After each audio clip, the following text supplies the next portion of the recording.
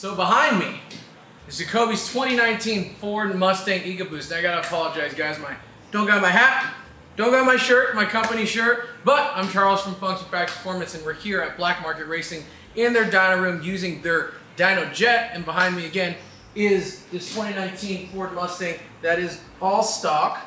So it has been a while since we, we were supposed to do this project. So Jacoby did install some modifications to the car and we're going to be removing them so that we can get a baseline on this car. The only thing we can't remove is the exhaust. So it does have a slip-on exhaust on the rear section. So it's only an axle back. It does have mufflers. I would say the mufflers are 50-50 uh, less restrictive, 50% if that. So we're going to see a mild, mild horsepower gain. But we are going to do a pull. So uh, stage zero, so it's not tuned full stock base map. So our first run will be on the stock airbox stock air tube that is right next to Chase that he'll be installing. The second one is going to be our Airaid intake with drop-in filter. I believe that's called a junior package. And then our next one's going to be our Roush intake. That's going to be our most complex system that has a closed. That one does not. The 2018 does have a closed inbox. So 2018 Plus is closed. 2015 to 2017 is not closed. It uses the hood to actually close the box. And last but not least, we're going to be using the full race cold air intake. That is a open filter element. It does sit down here, lower in the bumper. It is not closed. Some people are very skeptical of this intake. They have said it loses power, especially the Roush has some of the biggest criticism I've ever seen. So personally, we're actually making these videos for a lot of people out there that say cold air intakes don't make power on these cars. I'm here to kind of disprove a lot of theories that are in the industry and kind of floating around in the enthusiast groups that cold air intakes just lose power across the board. That's just not true, guys. If you have more airflow going into the motor, it makes more power. More importantly, it sounds freaking cool. So that's what we're here, again, to prove today. And who knows, maybe one of the systems might lose power.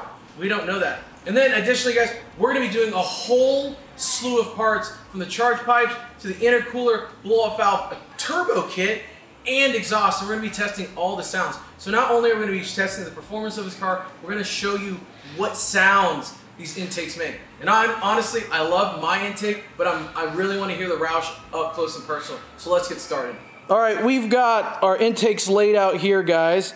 And uh, we're going to compare all the intakes. Obviously, there's uh, no scientific data here, but we're just going to take a look at it. So if we're going to pick up the stock intake, so here's the stock intake tube. I mean, pretty small guy, made out of injected plastic. Got your uh, your vacuum lines, your PCV stuff. Got the OEM hump hose rubber. It's just made to fit, and it makes a little noise, right? So let's look at our Airaid next. So massive difference. I mean, three and a half inch opening, closes down to the stock turbo size here, which is very tiny. Again, got your provisions for your hoses, nice injected plastic, got your badge here. So let's pick up our Roush. So Roush, another injected plastic, it's got texture to it.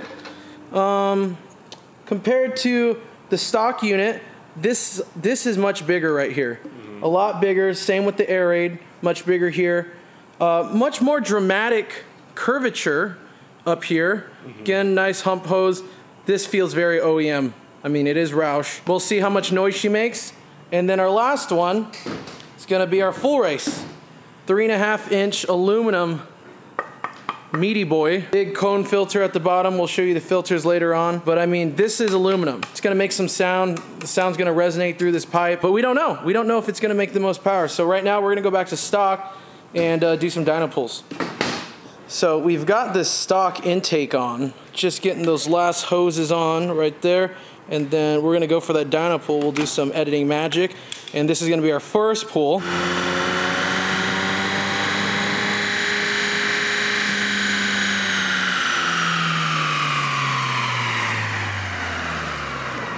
So here's the Airaid intake, guys. If this shit gains horsepower with the stock intake tube, Y'all motherfuckers lied.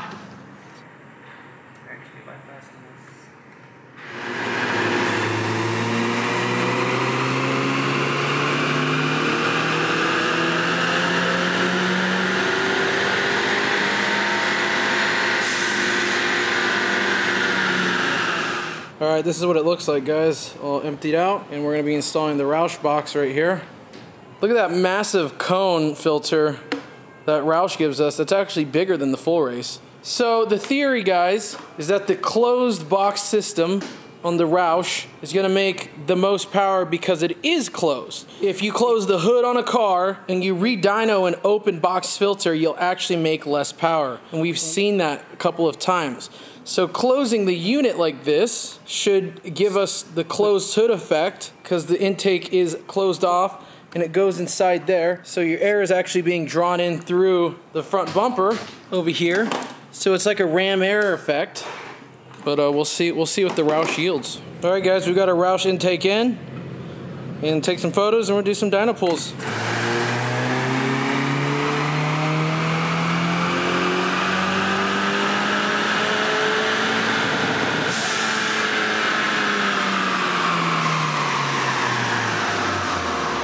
All right, guys, for the sake of time here, we're gonna put the full race intake on right now.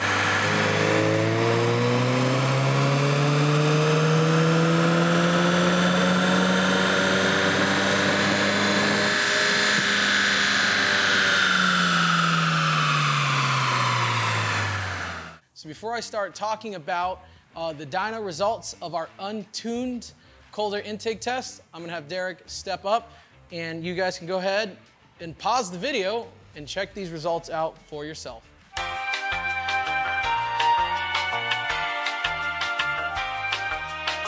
So we've got a stock 2019 Ford Mustang EcoBoost with a stock air filter and stock intake box. It made a whopping 248 horsepower to the wheels on what is behind Derek, this Dyno Jet, which we think is the happy medium when it comes to tuning. If you guys use a hub dyno, you might make a little more horsepower. If you guys use a Mustang dyno, you might make a little more less horsepower. For those that, you do, that do not know about dynamometers, this is kind of the medium in the dyno world. The air intake, the big tube with the K&N drop-in that is our junior system, made 241 wheel horsepower and 312 foot-pounds of torque. Moving on to da da da da, not gonna say anything yet, our Roush intake, it made 256 wheel horsepower with 335 foot-pounds of torque. Last but not least, my intake, which is the full race motorsports on my car, made 240 wheel horsepower, my favorite number, and 317 foot-pound of torque. So as you can see, guys, the stock car is pretty damn good. Again, this is a torque-based ECU. Obviously, the stock system is stock, it's clunky, clunky, it looks OEM, it's not the sexiest. Hey, it works. The volume is lower to, it's, it's low. It's like, you can hear the turbo, you can hear it in the cab, you can hear it outside. It's not that loud. I give it about a three out of 10 on the, the volume, uh, volume scale. The air tube plus the filter, lost horsepower, lost torque. Uh, kind of weird, right? Again, we don't know if this thing makes power yet because we haven't tuned it. A lot of people on the forums, it's a lot of their favorite intakes here, but here are the results. Uh, we talked about the Roush. So the Roush is our winner when it comes to untuned intakes. The result ends up being uh, a gain of eight horsepower and six wheel torque. The fit and finish of Roush is very OEM-like as they produce many OEM parts for Ford, I do highly recommend it. The sound is about a 7 out of 10. It does get a lot louder. It is a sealed box, so the sound is contained, but you can definitely hear the turbo spool. Last but not least, just talking about uh, the full race, big pipe, big filter, loudest intake, 10 out of 10, loudest intake, 10 on the Richter scale when it comes to noise. Fit and finish looks super race car. Um, black uh, powder coated big pipe made the least horsepower, uh, made the least horsepower, made uh, pretty not, uh, uh it made okay torque. But uh, honestly, I expected a little more out of it. Who knows, maybe when we tune it, it gets up there. But with the results here, it ends up making the lowest horsepower. Hey, sounds sick. I have it personally on my NX2. I'm not looking to make the most horsepower because I want a sick sounding turbo. And if Roush made an intake that fit my NX2, I'd be all over it, but unfortunately they don't. If you guys don't know what an NX2 is, it's a Turbo NX Precision Turbo, that it's a bolt-on, it's a 5252 uh, millimeter uh, compressor and turbine, and the turbo can make up to 520 wheel horsepower with supporting mods. So that full race intake on that turbo makes it extremely loud. But guys, um, here are the results. You, you can take them, you can leave them, you can do whatever you want with them. You can, I hope to start the biggest argument on the internet over this, but this is what happened here. And we're showing you a graph. I mean, we did at least 40 dyno pulls. I spent a lot of money, I've invested a lot of time.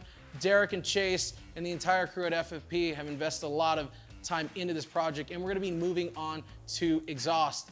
But we will be tuning every single intake and we're doing these videos as quickly as we can so that we reduce our downtime in the shop. So please bear with us if these videos feel a little rushed.